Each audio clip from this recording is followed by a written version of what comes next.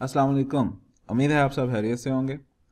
Okay last time we were discussing about for and while loop counter control repetitions और जिनकी मदद से हमने एक फिगर बनाई थी चेक बोर्ड पैटर्न जिसमें स्टार और स्पेस के कॉम्बिनेशन को हमने डिस्कस किया था।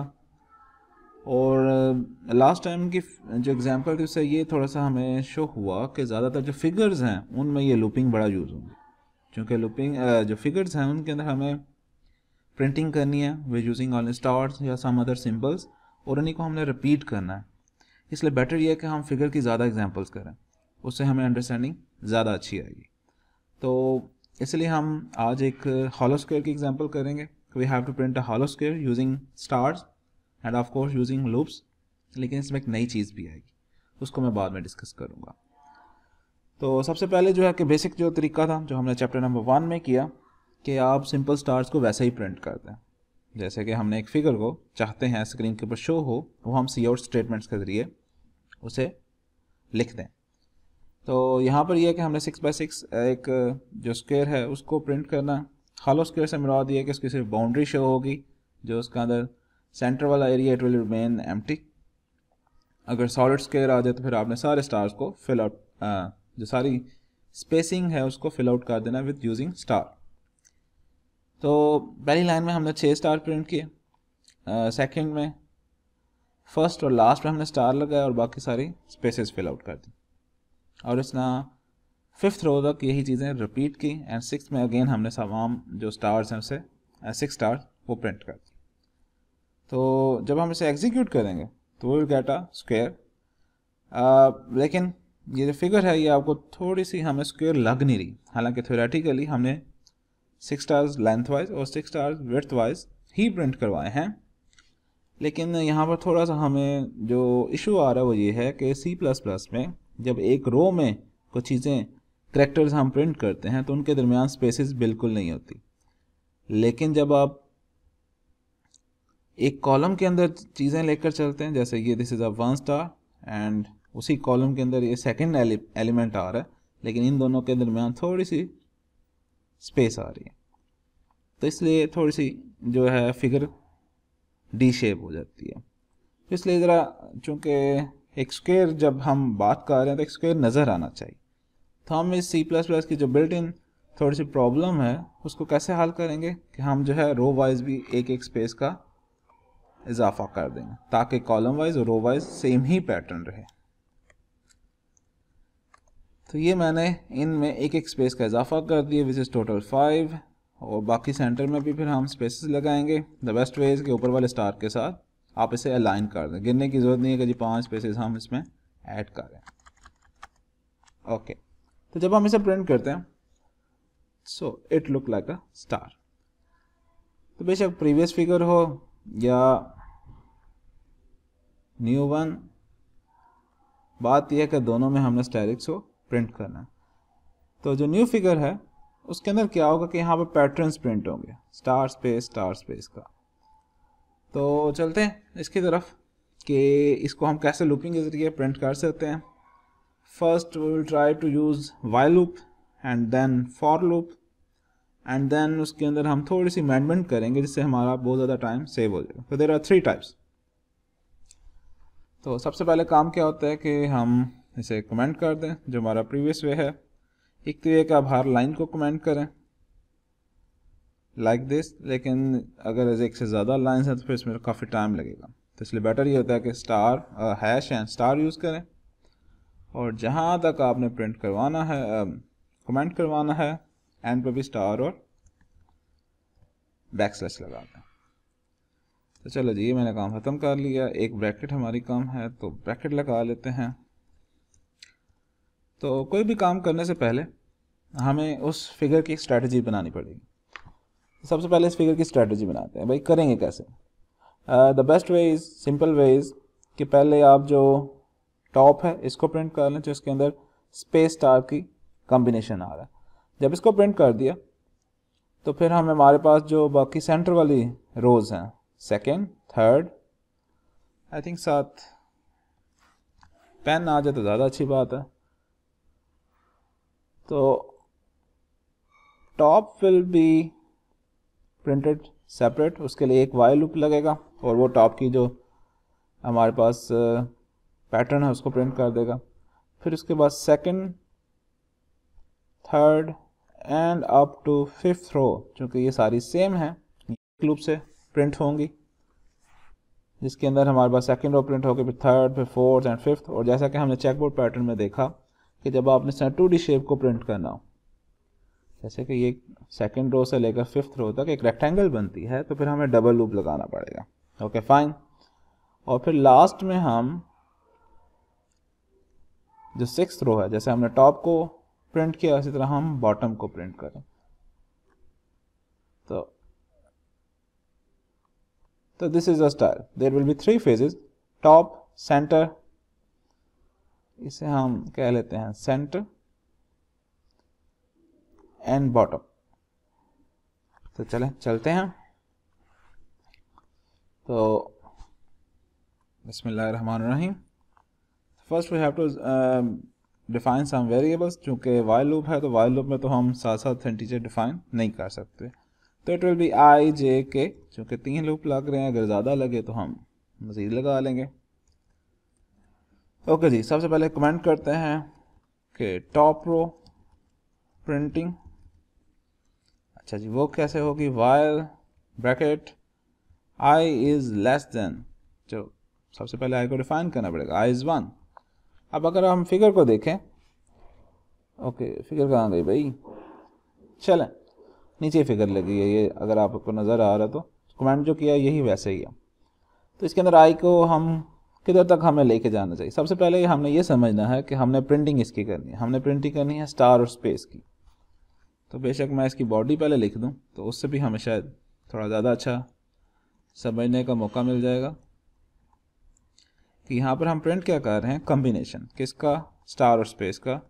तो C out star and C out space अब बाद लोग कहेंगे सर स्टार और स्पेस को इकट्ठा क्यों नहीं लिखा?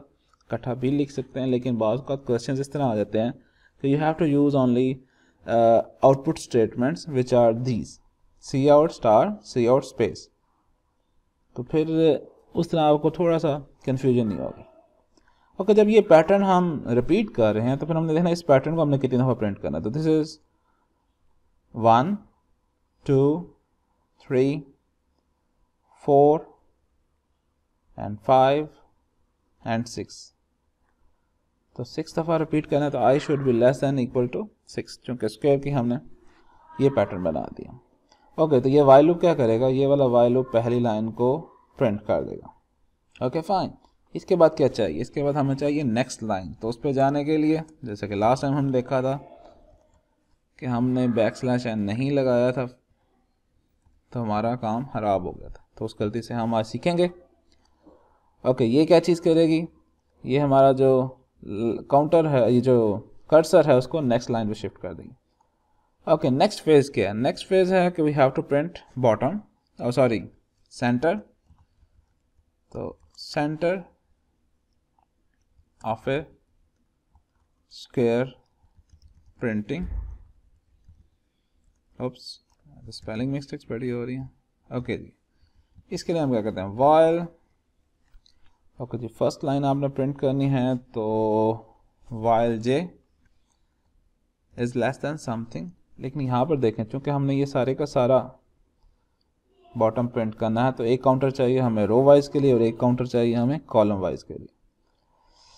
We have to print the center इसके लिए क्या चाहिए? हमें कितनी रोज़ प्रिंट करनी है? One two three and four तो पहला लूप क्या होगा? वो रोज़ के हिसाब से हो जाएगा। J is less than equal to four और इसकी बॉडी स्टार्ट कर देते हैं।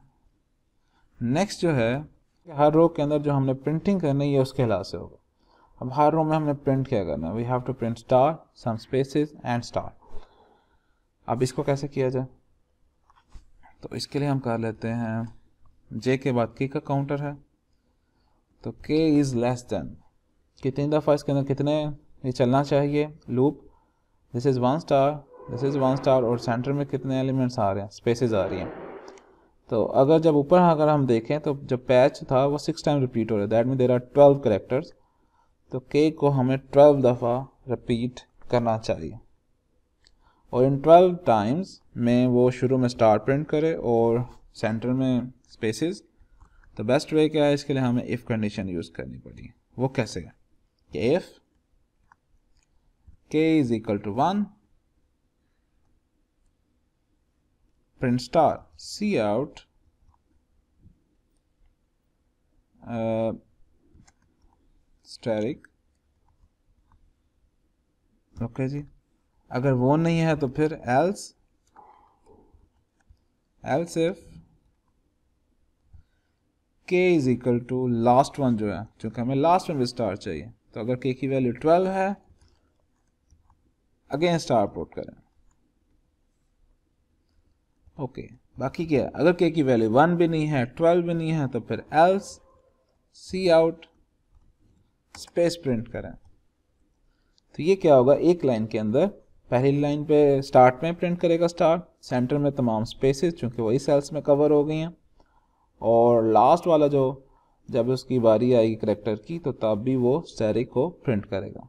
अब ये एक रो उसने प्रिंट कर दी। इसके बाद क्या चाहिए? हमें नेक्स्ट लाइन पे जाना है तो we have to print C out backslash N आप एंड एल भी यूज़ कर सकते हैं।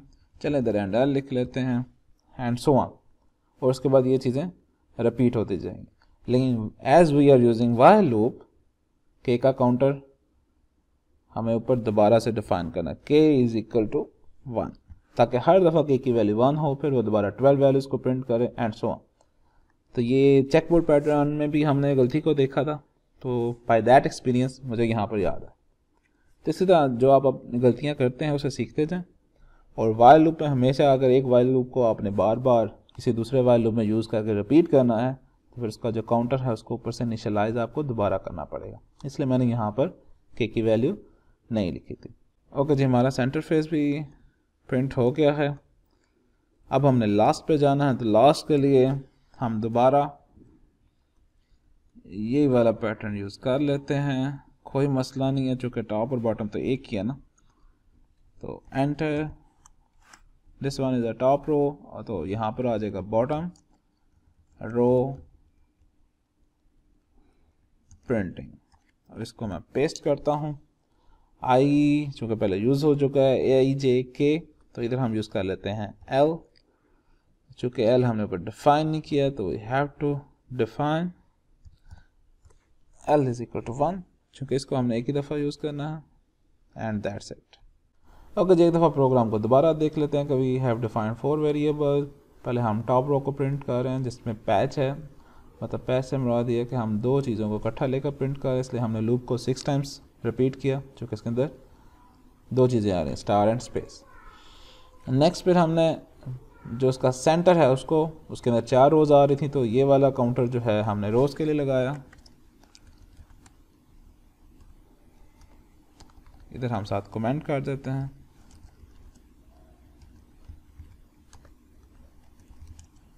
फॉर प्रिंटिंग फोर रोज़ और नेक्स्ट जो हमने कॉलम लगाया हुआ है, वो है एक रो के अंदर प्रिंट करने के लिए। तो printing column values in a row ताकि जब हम दोबारा कभी प्रोग्राम पढ़ें तो हमें लूप्स का पता होगा कौन सा लूप क्या चीज़ प्रिंट कर रहा अगर जो फ़र्स्ट वैल्यू होगी स्टार देन ट्वेल्व स्टार होगा बाकी तमाम पे स्पेस तो यहाँ पर हमने ये फ़र्स्ट कंडीशंस को यूज़ किया। और बॉटम रो को भी हमने प्रिंट कर दिया। तो चलें, बिस्मिल्लाह करके हम प्रिंट करते हैं। और ये तो पता नहीं क्या से, क्या चलता जा रहा है। And this is like infinite loop while because एक बहुत बड़ी गलती की। इंक्रीमेंट नहीं लगाए काउंटर पे, वो तो हमेशा चलता जाएगा। वाई लूप पहले वाला ही नहीं ख़त्म होगा। तो this is plus plus I again plus k down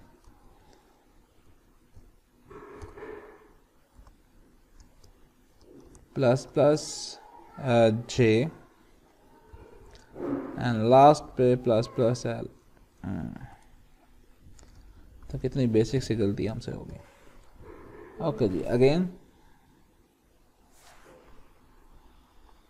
अब क्या मसला हो गया ओके तो इशू कहाँ पर आ रहा था कि if K is equal to one के की वैल्यू वन के बराबर हो, लेकिन यहाँ पर क्या के को तो वन अजाइन हो रहा है। तो this one was the issue कोई एरर भी नहीं आया, लेकिन हमारे पास जो लूप है it was a infinite loop इसलिए यहाँ पर डबल इक्वालिटी चेक करनी है ना हमने। तो इसलिए we have to put double equal हम असाइनमेंट नहीं करवा रहे, हम इक्वालिटी चेक कर रहे हैं। इसको हम सेव करते हैं। Now run again so this is our star एक जो थोड़ा सा मसला आ रहा वो ये है कि हमारा जो स्टार स्पेस वाला पैटर्न था star space star space star space and end पे स्टार थी, ये स्टार अलाइन होने चाहिए। ओके फाइन आप इसको ख़त्म कर सकते हैं। कैसे? कि यहाँ पर देखें। एक स्टार ज़्यादा आ रहा है तो दैट मीन जो सेंटर वाला लूप है, इधर हमें कितनी बार रिपीट करना चाहिए? ओनली इलेवन टाइम तो दिस इज़ इट ये आप एग्जीक्यूट करके देख सकते हैं। Now this is equal so that's it अब चलते हैं कि फॉर लूप के ज़रिए हम कैसे से कर सकते हैं और नेक्स्ट इस सारे झंझट से कैसे हम निकल सकते हैं। इसमें बार बार हमें टॉप के लिए लदा करना पड़ा बॉटम के लिए लदा करना पड़ा एंड देन सेंटर के लिए लदा कोई ऐसी स्ट्रेटजी होनी चाहिए जिसमें हम एक ही दफ़ा स्टार और एक ही दफ़ा आउटपुट स्टेटमेंट स्पेस लिखें और तमाम चीज़ें हो जाएँ। लेकिन उससे पहले द फ़र्स्ट थिंग इज़ कि we have to use for loop तो एज यू नो कि वाइल लूप को अगर ख़त्म करना है तो इधर हम लगाते हैं for loop for and I is equal to one space मतलब सेमी कॉलन ताकि हम नेक्स्ट जो इसकी कंडीशन है I is less than equal to six उसको यूज़ करें। And next I plus plus I इसको भी मैं कमेंट कर देता हूँ। जैसे हमने फ़ाइल को किया है तो ये पहला हमारा लूप जो है, वो कंप्लीट हो गया है। नेक्स्ट इधर जे के लिए हम करेंगे। तो for int j is equal to 1 j is less than equal to 4 and plus plus j next is for k and we know that for while loop or for for loop हमें पर k को initialise करने की ज़रूरत नहीं है तो इधर हम लिख लेते हैं for int k is equal to 1 खुद बहुत इनिशलाइज हो जाएगा k is less than equal to eleven क्योंकि लास्ट में हमें तमाम स्टार अलाइनमेंट में चाहिए। एंड प्लस प्लस के। तो बाकी सारी स्ट्रेटजी नीचे वैसे ही रहेगी। ये इंक्रीमेंट भी हम फिनिश कर देते हैं। और इधर जे का इंक्रीमेंट भी फिनिश नेक्स्ट है दिस वन वाई लूप इसको भी फिनिश करें। और इधर लिख लेते हैं हम। For whatever int l is equal to 1 l is less than equal to 6 and plus plus counter इसको सेव करते हैं again run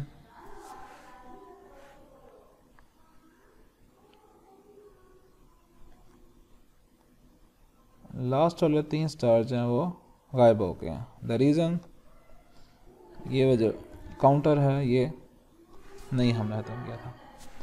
So this is it main चीज़ है कि हमें करना तो चाहिए था फॉर के लिहाज से, लेकिन चूँकि स्टडी मोड है तो you have to learn both ways while and for देखें, बेशक दोनों सेम ही हैं, लेकिन स्टिल थोड़ी बहुत प्रॉब्लम आ जाती है। तो अगर एक ही क्वेश्चन आपको दे दिया जाए कि आप फॉर से भी करो वाइल से भी करो तो उसके अंदर आपने जब गलतियाँ करेंगे तो उन्हीं से आप सीखेंगे, और वो वाली चीज़ें फिर आपसे दोबारा मिस हैंडलिंग नहीं होगी। अब बात ये आ रही है कि अब है तो ये टू डी शेप तो जिस तरह हमने चेक बोर्ड पैटर्न को प्रिंट किया था यूजिंग ऑनली टू लूप्स तो हम इधर क्यों नहीं कर सकते? But we have to use some conditions तो चलते हैं, उसकी तरफ़ के कंडीशंस क्या हो सकते हैं। तो फॉर देट सबसे पहले इस चीज़ों को तमाम को अगेन कमेंट करना पड़ेगा ताकि ये सारी चीज़ें जाएँ साइड पे। इसको हम लिख लेते हैं star star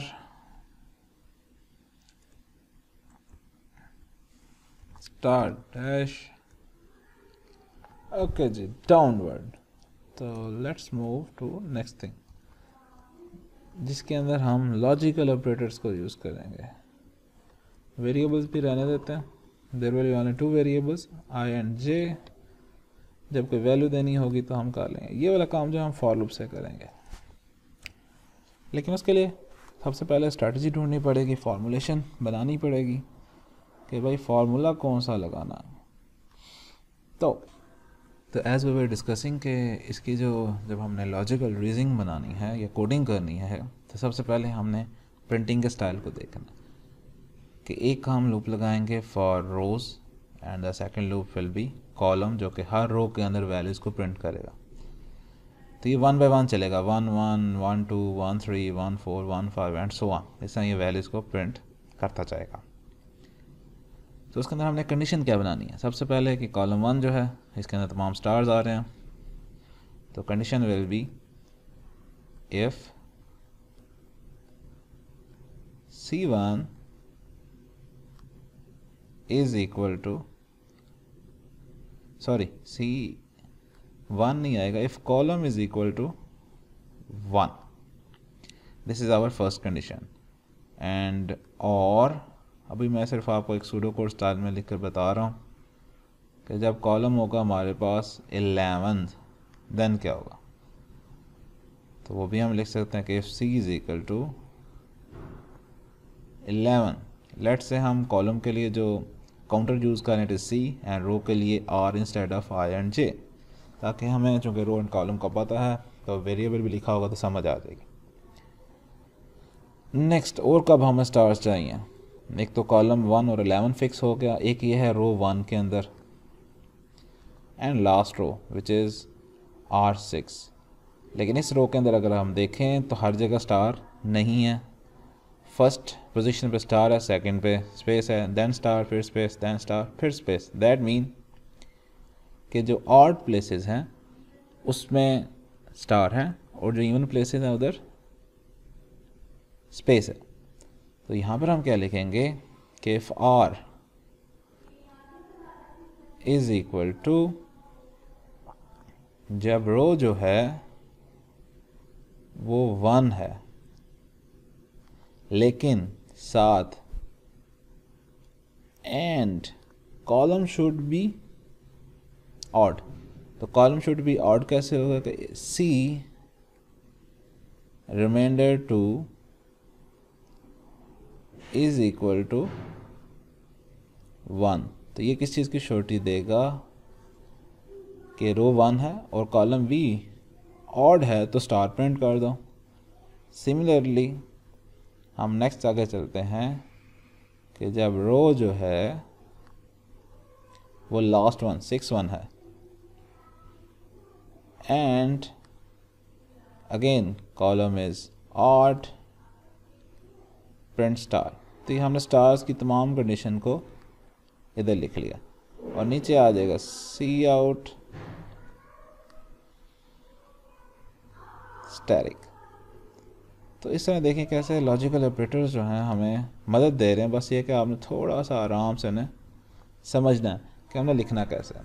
तो अब हमें स्कीम समझ आ रही है कि हमने कंडीशन लिखनी है कि अगर कॉलम वन है या कॉलम इलेवन है या रो वन और सिक्स है, लेकिन साथ कॉलम क्या होना चाहिए?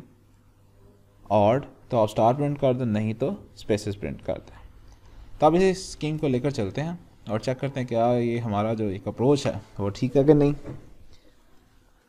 यहाँ पर हम रो के लिए आर यूज़ कर लेते हैं और कॉलम के लिए सी नेक्स्ट मैं लगाता हूँ for loop R int R is equal to one R is less than equal to row हमें चाहिए छः. Fine plus plus R okay इसकी बॉडी के अंदर हमने अब सेकंड लूप लगाना है which is for columns int C is equal to one C is less than equal to that will be eleven हाँ जी, चूँकि इलेवन ही आना and next is C plus plus C तो चूँकि हमने यहाँ पर चीज़ें डिफ़ाइन कर दी हैं तो ऊपर डिफ़ाइन करने की ज़रूरत नहीं। इधर बेशक आप आगे लिख सकते हैं कि लूप किस काम के लिए है। Loop to print rows and the downward loop is for columns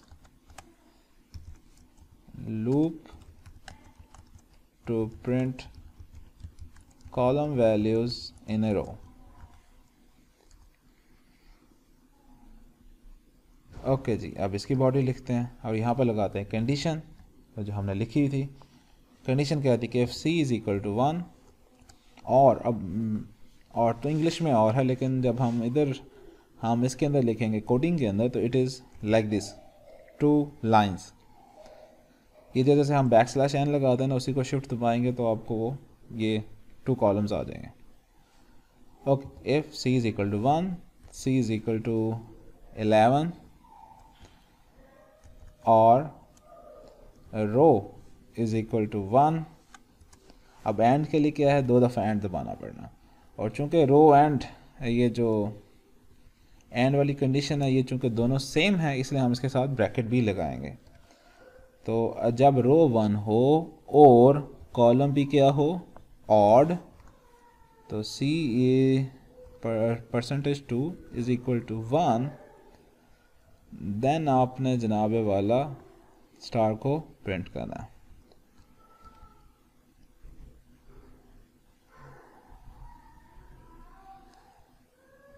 चलो, वो कह रहा है, एक जो है आपका कम है। अब सिमिलरली रो जो है सेवन तो इसी को हम कर लेते हैं कॉपी और एक और कंडीशन लगाते हैं और रो जो है वो सिक्स हो, चुके सिक्स रोज़ है। अब ये सारी चीज़ें हमने लिख ली। तो तब करना क्या है? तब करना यह है कि आप प्रिंट करें स्टार को। ठीक हो गया। एल्स ओप्स एल्स क्या प्रिंट करेंगे? C out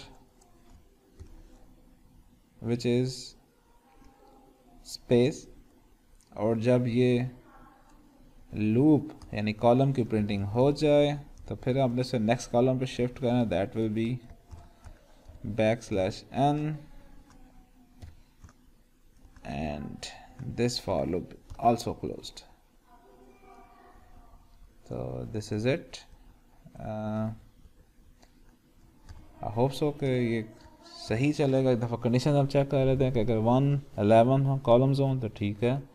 रो वन हो या रो सिक्स हो तो देन नहीं तो हर जगह आप जनाबे वाला स्पेस पुट करते हैं तो इसे रन करते हैं। ओके टर्मिनेशन नहीं लगाई, कोई मसला नहीं।